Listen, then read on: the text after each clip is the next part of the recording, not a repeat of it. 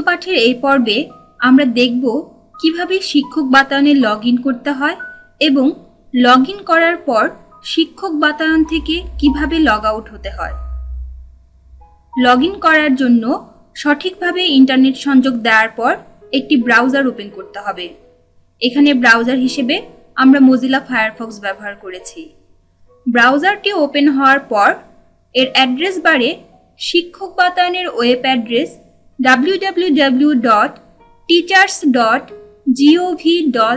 BD লিখে keyboard থেকে enter key চাপতে হবে। শিক্ষক বাতায়নের ওয়েব পেজটি দেখা যাচ্ছে।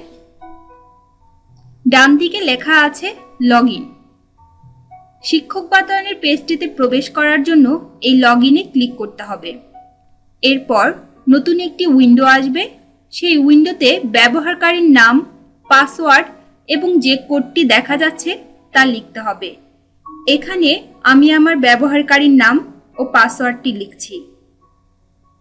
কোডটি হুবহু লিখছি। এরপর প্রবেশে ক্লিক করতে হবে।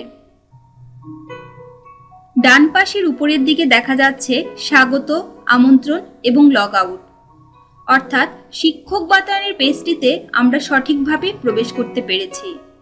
এবারে শিক্ষক বাতায়ন হতে বের হওয়ার জন্য লগ আউটে ক্লিক করতে হবে। লগ আউটে ক্লিক করলে শিক্ষক বাতায়নের পেজটি দেখা যাবে। এভাবেই শিক্ষক বাতায়নে লগ ইন এবং লগ আউট হতে হয়। চলুন, এবারে আমরা অনুশীলন করি। টিউটোরিয়ালটি দেখার জন্য ধন্যবাদ।